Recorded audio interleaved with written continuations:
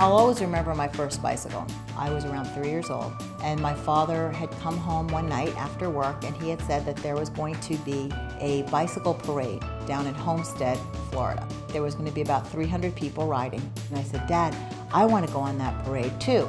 Of course, we were bicycle distributors and manufacturers, so he went to the office and he came back with a beautiful little bicycle for me. It was red, it was a 12 inch bike.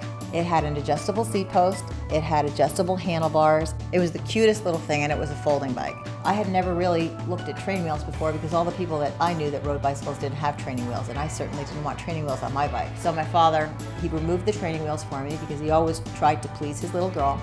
I would say it took me about a minute, a minute and a half and I was pedaling the bicycle by myself. I was just totally thrilled with my first ride and the thrill of the accomplishment and being able to find my own freedom. It's really important to me that a first child's experience on a bicycle is as memorable and as wonderful as mine was on my first little red bicycle. It's that first sense of freedom.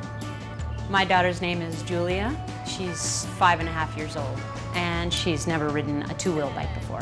I really want Julia to have the same experience that I've had with biking and to learn to love biking because this is something she can do her whole life. I remember the feeling, biking equals freedom for a kid. It's your first set of wings, really.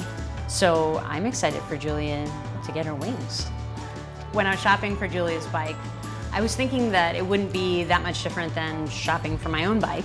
I go to a local bike shop and he has a passion for what he does and I would never go somewhere that sells groceries and toys. I want to go to someone that has a passion for cycling and knows their business inside and out because they are going to be the ambassador for their product and they're going to give me the highest quality product that they possibly can because they want me to come back.